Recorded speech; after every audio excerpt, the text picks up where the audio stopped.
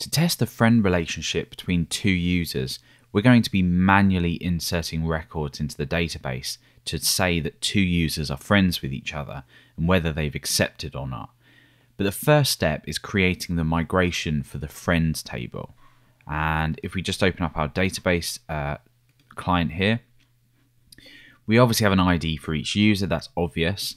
So our friends table needs to have a user ID and a friend ID. And then we're going to have a boolean, which is whether that other friend has accepted. And we'll create the logic for this within the user model later. So let's go ahead and generate a migration. So we're going to do the same thing as we did when we migrated uh, or created the migration migration for the users table. So we say PHP artisan make migration. This time we're creating the friends table. So once that's created, let's head over to our text editor, over to database, migrations, and over to the create friends table migration. We do the same thing really as we did for the users table. So we use the schema builder to create the friends table. We have our callback here. Remember we type in blueprint and have our table variable there. So we don't really need increments on here uh, as an ID, but we'll keep it in there anyway. And we are going to have a user ID and a friend ID. These are both going to be integers.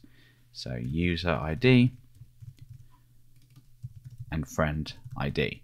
Now, obviously, when we send a friend request, we need to uh, have the other user accept it. So we're going to have a boolean here, which translates to a tiny int in the database and that is whether they've accepted or not.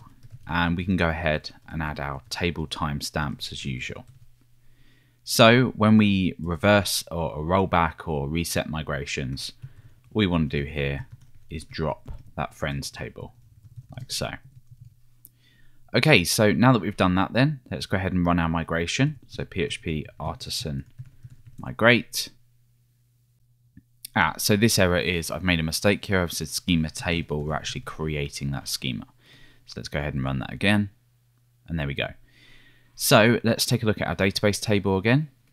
This database table here. We've got user ID, friend ID, accepted. We've got everything we need. And in the next step, we can move on to actually looking at the relationship between two people. And then eventually we can output a list of our friends on our profile page.